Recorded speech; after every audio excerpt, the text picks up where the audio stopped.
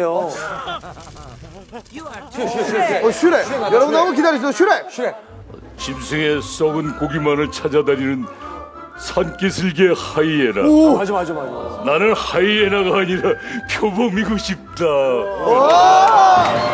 여러분 박상민 씨의 목소리 더빙도 직접 하셨습니다. 장군 아들. 그래 장군의 아들. 예. 여러분, 나 김도환이 종로에 돌아왔습니다. 한 줄기의 연기처럼 갑옷 없이 사라져도 빛나는 불꽃으로 타올라야지.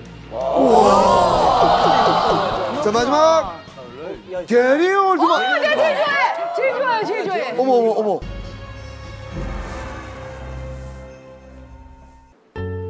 묻지 마라 매냐고. 왜 그렇게 높은 것까지 오르려 애쓰는지 묻지를 말해. 높은 것까지 오르려 애쓰는지 묻지를 말란 말이야! 게리 올드만 연기. 게리 올드만 미국에서. 아이고야. 아니 근데 그 네. 얘기를 들어보니까 직접 인형 캐릭터를 손수 만드셨다고요? 네, 제가 한 땀 한 땀 손바느질해서 만드는 거예요. 아 정말요? 이 지금 인형을 어머 어머 어머. 직접 만드셨다고 합니다. 정말 대단하시고 그리고 선생님의 그 정성이 다 들어간 거 아닙니까? 네 그러다 보니까 캐릭터가 어르신과 이렇게 좀 이렇게 닮았어요. 맞아요. 저랑아 닮았다는데 맞냐? 네. 그리고요, 예, 저는 나영 씨. 여성 복화술사는 처음 뵌 것 같아요. 네. 어떻게 복화술을 시작하게 되셨는지 궁금해요. 아, 네. 저는 6년 전에 커다란 교통사고를 좀 당했어요. 24톤 덤프트럭에 제가 치여서 차 밖으로 튕겨져 나가서 목이 15cm가 찢어졌거든요. 그래서 거의 죽을 뻔했는데 아, 병원 생활을 좀 오래 했어요. 그래서 너무 우울한 생활을 하고 있다가 이제 태어나는 날에 너무 특별한 공연이 있다고 꼭 봐야 된다고 그러는 거예요. 그래서 제가 붕대를 감고 가서 만난 분이 안재우 선생님이셨어요. 아이고. 그래서 공연을 보면서 굉장히 우울한 생활을 했던 제가 너무 웃고 행복함을 되찾아서 아, 다시 살았으니까 이 행복을 같이 나누고 싶어서 다시 시작하게 됐어요. 어머 선생님. 아, 아니 그리고 우리 세분 인생에 어떤 뭔가의 새로운 것을 찾게 해준 바로 그 장르가 포카술이 아닌가 또 동시에 이런 생각을 해봅니다. 우리 장 선생님께서도 앞으로의 바람이 있습니까?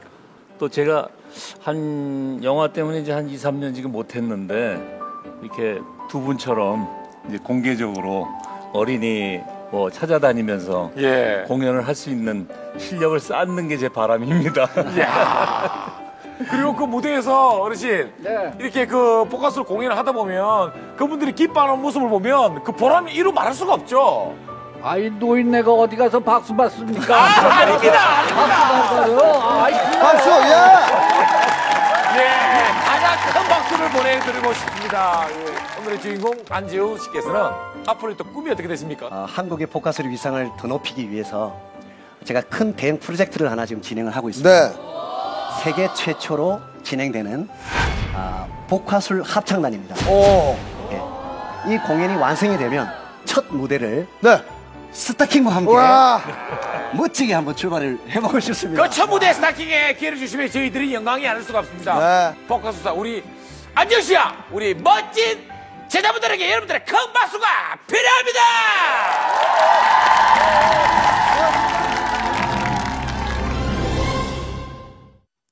주 강력한 파워. 정확한 싸움. 11살 탁구 신동의 눈을 뗄 수 없는 놀라운 실력 조용필과 성시경이 스타킹에 떴다? 진짜 모창대회 1등은 누구? 씨름계의 습별을 찾아라. 강호동을 넘어뜨린 진짜 천하장사는 누구? 스타킹. 기대하십시오. 가자!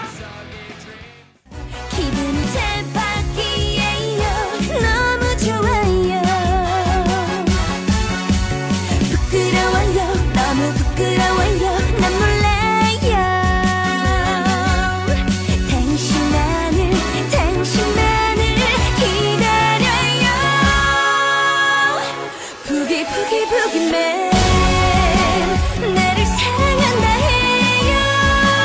이렇게 1년이 가고 10년이 가도 나는 기다려 한동대학교에서 백화점 상품권을 풀 HD 블랙박스 블랙뷰에서 백화점 상품권을